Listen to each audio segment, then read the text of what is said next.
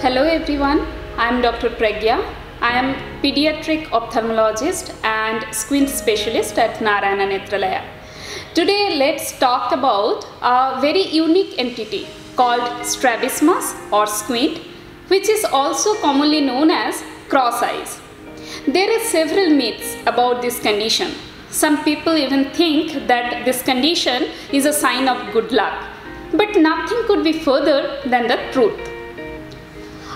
Eye movement is being controlled by six extraocular muscles.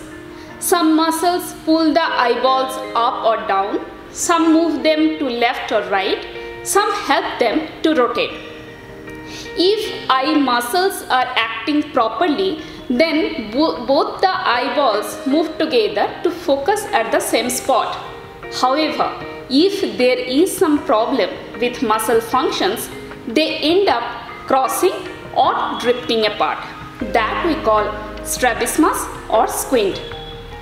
When all the muscles are working correctly and both the eyes are uh, parallel to each other, that means they are straight, both the eyes take two pictures of the same object and they send those signals to the brain where it is getting combined to form one single three-dimensional view.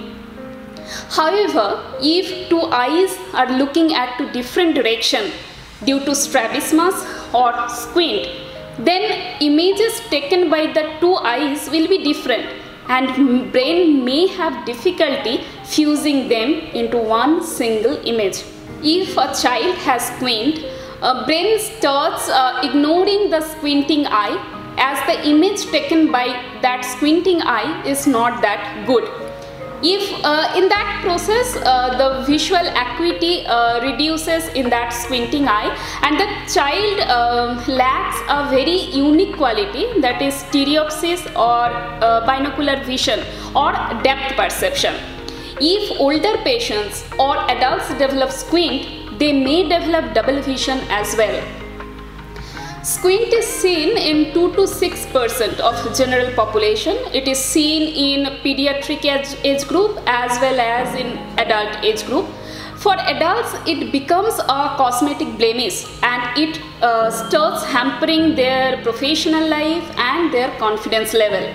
So treating squint is very important in any age group be it a, a patient or child or uh, be the patient and adult.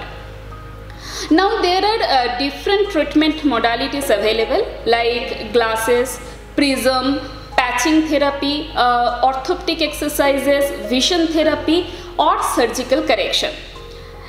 But the treatment is very much customized and individualized as uh, the type of squint, severity of squint, effect of squint, everything varies highly from one patient to other. At Narayana Nethralaya, we provide our patient a very systematic, comprehensive diagnostic approach and customized treatment modality. First, a thorough squint assessment is done by a very experienced squint specialist and then the treatment plan is discussed to the patient or their relative.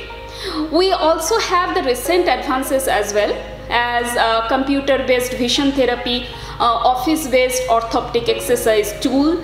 So you need not worry as your eyes and your dear one's eyes are in safe hands and our aim is not only to correct your squint but also to improve the binocularity and to help you to achieve the best level of binocular vision and I'm sure that with your faith in us, we will definitely be able to do so.